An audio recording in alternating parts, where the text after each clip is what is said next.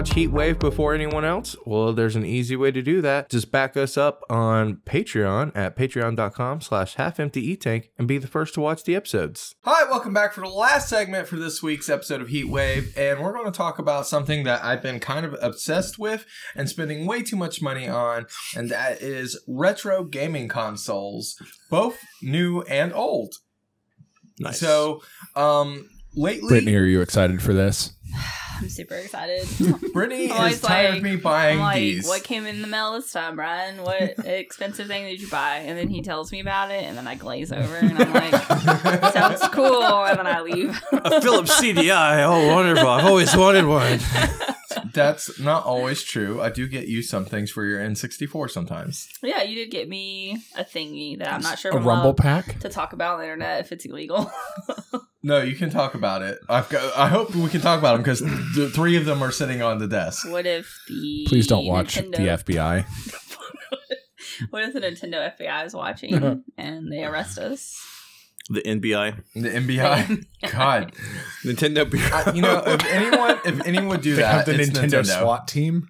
Yeah, they just come in and rip all, rip all my Pokemon cross stitches off the wall. Tell me it's copyright infringement. They're just like they've got a knife and they're just slashing through all of them. Yeah. I think I would legit cry if I saw that, like Brittany's work and shit. I would like be super pissed. But no, let's start with the one retro console that we've actually done stuff with with yours. Your retro console is a legit like Nintendo Yeah, 64 that a- we've modded. It's a Jungle Green N64 that we modded um, It has the for HDMI HDMI output. Uh-huh. And It has the Ultra HDMI uh, mod it has and the Ultra HDMI mod. we did some LED mods on it, and we also mods. have an EverDrive. Mod. Wait, does it does it do RGB? Yes, it does. Roy Great. G. Biv. It's a colorful man. yeah.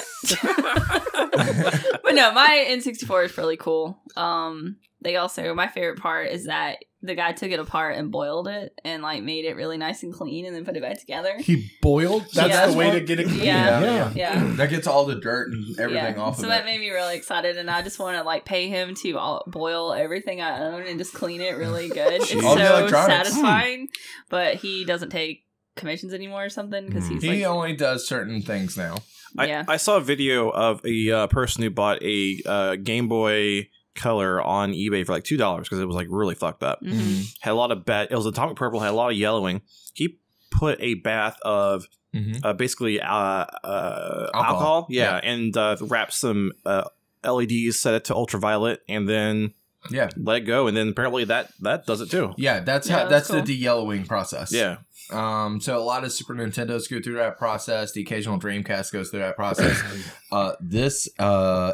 Famicom uh, AV unit went through that process. Oh, the It's family been computer. cleaned. yeah. So, um, Squeaky. A, lot of people would, might recognize this as an NES top loader, but it's uh, actually a Japanese NES top loader. The reason why I got that is because the Japanese NES top loader had the classic uh, Nintendo hookup on the back that everyone's Super Nintendo got, but the American one only had RF out exclusively. Mm. And with this, this one was way easier to mod to have RGB out and work with FrameMeister. So So that's the same connector it's been on since uh, up until I think the This- GameCube. Yep, and that was the beginning of it. That was Yeah. the first system to have it. Cool. Um, so I got that, and that's why we have a Famicom instead of a regular Mhm. top loader.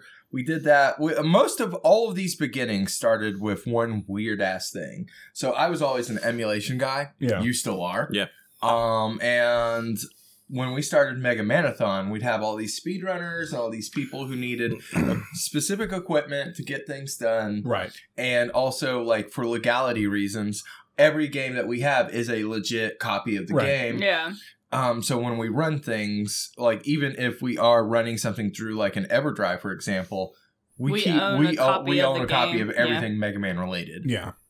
and so um with that though we had to start getting all these weird machines Yeah. so uh, almost every machine that I don't have like a weird HDMI version of it, Mhm. there's a modded version. So our GameCube's HDMI modded, our Dreamcast is HDMI modded, the N64 is HDMI modded. Yeah. Everything else we use a FrameMeister. Um, but lately, I've been addicted to a single company called Analogue. Okay. What is Analogue? Analogue This Makes- episode brought to you by Analogue. Yeah, uh, pro- I mean, I've paid them enough money the last couple of months. See if you can get an affiliate link. right? I'm going to. I'm going to hit them up. Um, but I recently picked up their uh, Me- uh, Mega SG. This um console right here allows you to play Sega Genesis games and Sega Master System games and Sega Game Gear games. It has HDMI out, and it just it just fucking works. Can I touch? Yeah, go ahead. And it's absolutely one of my favorite consoles. It's built super solid. And it's got an SD card slot. Yeah, yeah, which allows you to do other things of various legality, legal uh, purposes. Um, but uh, what I've done That's more is- solidly built than I expected. exactly that right there is a two hundred dollar reproduction cart now or console. But the difference is instead of it being like an emulation system, it's not. It's using an FPGA core to emulate the hardware. Oh, interesting. so it just works. It's a Wow. it just works. And the same just thing here with the Super NT, which is the Super Nintendo. Um, it's the basically the same whole concept, except uh, the one difference is the Mega SG had one extra feature. This would allow you to work with your Sega CD, your real Sega CD, Wow. because it has a little feature right here, so it could actually connect right into the real Sega CD, which was very Sega of them. Does does it also work with the 32X? It does not work with the 32X currently. Hmm. Now, something that I've already ordered and it's on the way. I'm sorry, Brittany. Is the Analogue DAC, which Sweet is a digital analog converter. Okay. Mm. So what it does is it goes uh, does outputs from the HDMI here. Mhm. You'll be able to put a 32X on it, connect it to the DAC, and then that will have an analog output signal that still works. Hmm. And all of these are pretty much near perfection when it comes to the hardware output and how it reacts just like the original hardware. I am kind of amazed at how much technology and understanding went into reverse engineering this stuff and making a shittier gameplay experience. yeah, like in some ways it is. For examples, you can uh you can get it to where like for example, there's no slowdown with like an NES game or something like that. That is a thing. But it's uh you can and you can set it those settings. But people consider that part of the experience. Yeah, yeah. So like Mega Man 3 for example has a shit ton of slowdown Yeah. and people can't play it when it has doesn't have It it. doesn't They're have just that. like they don't have that pacing. Now, these are FPGA consoles. This right here, on the other hand, is just a straight up re uh recasing of a console or a handheld console. So this is my GBA consolizer. I just got this. Brittany, have you ever thought to yourself, I want to play a handheld game, but I want to play it on a big TV and I don't want it to be small? Um, every fucking day of my life. Well, let me interest you in this Game Boy Advanced You want to know the first thing I played on it was Shrek Two. The movie. the movie. movie. The movie. Not the game. Me and Brittany, the very first thing we did is we streamed Shrek Two. Shrek 2 on the Game Boy Advance video cart. Yep. Which is the entire movie in 160p. and it moves at 15 frames per second. Um, it will give you a headache after watching the It whole took thing. it took a while to watch it because we would look at each other. It was so pixelated. I'm pretty sure I could cross stitch any frame from that movie. I think you should. Just do a flip book, a fabric flip book of Shrek Oh my 2. god, Oh that would be amazing.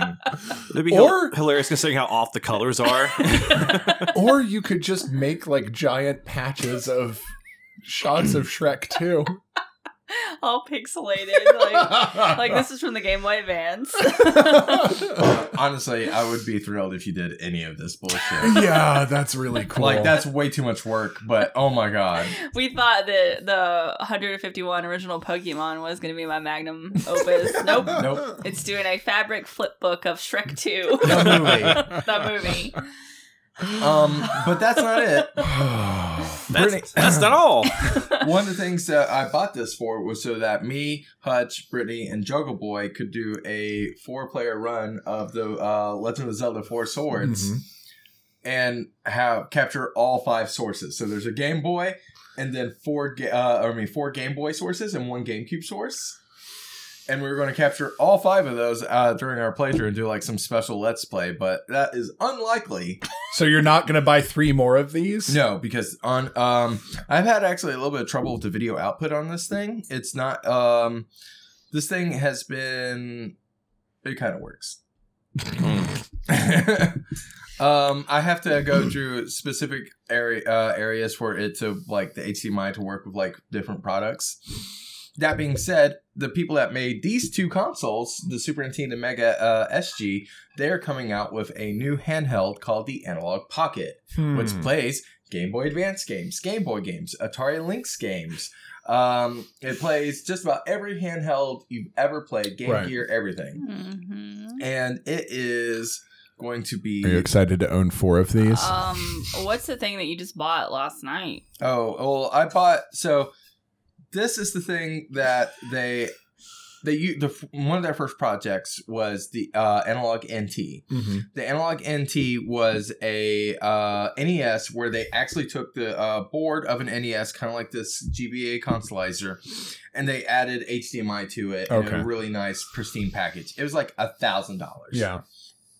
Um, they came out later with another thing called the NT Mini, Mm-hmm. which was an FPGA core Nintendo NES, like these other ones, but had a metal aluminum casing, and it had both HDMI out and analog output. And because of all that, it was pretty expensive. Mm-hmm. Um, and it sold out, and now it was going for the last like couple years. They haven't been making it, and it's gone up from like a thousand dollars to two thousand dollars to three thousand dollars sold on eBay because it's such a really great piece of machine. Yeah. They just said, okay, we're going to do one final run, and I bought it. I was like, fuck it. I sold my AVS yesterday. Like as my AVS was my my uh It was pretty new. my uh, like I just bought it, and then they just announced they were doing a final run. And you were like, ah! So I sold it to like make up some of the difference of it. But yeah, so I've bought just about every Analogue pocket So or Analogue I was like making product I can. He literally got this one thing in three But this weeks is the ago. pocket. That's pretty It's pretty. and but like a Switch, it docks and you can play it on TV. Space docks. Oh, nice. So yeah, it actually Okay, I hadn't seen it. the dock for some reason. Yeah, the Huh. dock actually. Uh, Ask him what his favorite game is to play on all of these. What's your favorite game to play on all of these? Shrek Two. I don't No. know what. Sonic? Wheel of Fortune. Okay, so that's fair. Um, I have been playing all of these like TV game shows on all of these lately, and I have played through Wheel of Fortune on the Super Nintendo Deluxe Edition uh, probably about five or six times now. wow. I come home and I just I just fucking chill and Or play just Wheel of Fortune. relax with a good old fashioned game of Wheel of Fortune. that is We just so we just had that absurdly really wholesome. fun like like like uh, game show game night, and then you just never stop playing Yeah. them since Well, that no, stream. that is no. I bought so many. I have so many game show carts now. wow, that's Um, awesome. and so many different versions of Jeopardy. Oh man, Would you like Like, a copy of Deal or No Deal? no- Because you already have it. you bought me that. I did. For, you got Two what? Three copies for two dollars, Something like that, yeah. It's like this is insane. Walmart's basically like bundling like five for like two dollars. Get rid of them. We got too much Howie Mandel here. He's got to go. we had a really great This place stream is there. now haunted because of all of these pictures of Howie Mandel. It was such a bizarre fucking game, and it's so bad. It's a Nintendo DS game. I've streamed it once when I got my 3DS. Hey, my 3D modded 3DS for Capture Unit. Um, I played fucking no deal, uh, deal or no deal on stream, and for like a total of 15 God. minutes. And I had people watch. The internet's weird. You guys are weird, and we I, I appreciate it. Thanks for watching us. Like, That but some, around. yeah. didn't it? but um, he you're pulled weird. the ripcord on that conversation real quick. But uh, yeah, Still, so- my favorite stream moment is you taking uh, a pair of scissors and then put, putting it through the hole of another pair of scissors, whirling it around, and saying, "Guys, guys, I am putting this on the internet. You are watching it." Went to the bathroom during a craft stream and I was like, "Hey, Bryan, you need to go over for a couple minutes while I go pee," and that's what he did. My just- favorite internet moment is you just sitting all alone in a room and you just take peanut butter and start smearing it on your face. It was the best highlight. It was way There was than what I like did. no context to it because I just started the, the highlight like you were just sitting out by yourself and just Yeah. Bryan said keep me entertained. I was like, okay. so that started from uh, someone paid me money to turn me into a sandwich. That's a fetish. Oh yeah. So what I did was I put peanut butter on two slices of bread, right, mm. and I did a dance and slapped them on each side of my head, and I was a sandwich after that. How fun was that to clean out of your beard? Hair and beard. It was real bad. Well, while he was cleaning it out, that's when Hutch decided to sit down and have Yeah. his own little Hutch show. but yours was so much better because you were just staring into the camera and smearing peanut butter onto your head. And I walked in, I was like, "What the What fuck link. is happening?" Oh yeah, we have a highlight. Hmm. Kept it casual. And So it's was trying so to do. bizarre. That's the one thing I do miss about streaming at your house right now. Is like just random ass shit like that would happen. yeah. Sorry, I'm not up to par on that. No, you're usually just yelling at me like you're too loud. yeah. I, I do miss all the um um Frank uh, being an asshole and then you guys having to put him in the sweater and that just makes me so amused. Emotional support sweater. yeah. and that's my favorite video game, retro video game console. But no, uh, I'm really excited about these. I've gone down a deep rabbit hole. So I have a complaint about that one, which you said plays Sega Master System games, Uh-huh. but it doesn't play all Sega Master System games because I don't see a card reader on It it. does have one. Oh, I have an adapter for the card reader. I can pull that out, but I just didn't want to pull it out. He's so proud. Also, this right it? He'll pull it out. also this right here is a another EverDrive, but what this also has is an FPGA inside of it. Oh. And this allows you to not have to use a Sega CD to play Sega CD games. Mm. Oh. So this is my this plays Sega CD games, Master System games, even the card ones, without any extra hardware. That's wild. So I've been using that. These EverDrives have lots of really great extra tools, and there's so many great like Sega CD games that I would have passed on if I like didn't have this. Does the uh Super NT Mini have a card slot? Um, the Super NT Mini, Or the the one that's coming out? Uh, the, The NT pocket, Mini. the pocket. No, the NT Mini, the the five hundred dollar. It has a Famicom and an NES slot and an expansion port for the Famicom disk drive. Okay, so it does, but it doesn't have like a card slot, like like SD card slot. Oh yeah, they they all do. This one does too. Okay, They all have that. gotcha. They Okay, all have the SD card slot. So technically, like if you jailbreak them, you don't need an EverDrive, but I still use them. Yeah. So okay. So if you jailbreak this one, it could potentially all of them, play. all of them have jailbreaks. Oh, so All I, I could play Sega CD games on this boy. Technically, Yeah, but I mean but through the SD card. Yeah. and it's not as ideal. Yeah. Okay. But otherwise, if you were playing uh like a like a ROM off of a card on this thing, Mm-hmm. um, it would still be treated as if it were uh running it off of the actual hardware rather than an Mhm. emulated. Uh, Yeah, exactly. okay. So there, you can actually change. The, uh, there's cores that you install. Mm. So, for example, I have a Genesis Master System ColecoVision and Game Gear core installed on this one, Uh-huh. and there's all those all are just turned the system from a Genesis to those systems. Yeah. and that's how it, it runs. So it's not really emulation. It's really bizarre. Yeah. Mm. Very cool. But um, yeah. Welcome to Nerd Corner. I'm starting to get a little bit of FOMO for for that uh for that NES one. Uh oh. Hutch has FOMO. I really don't need. I Go really to don't Slick need Deal, it. see if they have three. yeah. So, well, guys, Go on AliExpress, buy a case of them. God. So I'm this just going on Wish. Why not? so this company is based out of Seattle. Okay. First of all, it's an American company. It's America. America. Fuck yeah. And they pay they paid in America to do all this programming. They Thank you, paid Keptris. In They paid in America. So, anyways, that's it. Bye, everybody. We'll see you next week. Bye. Bye bye.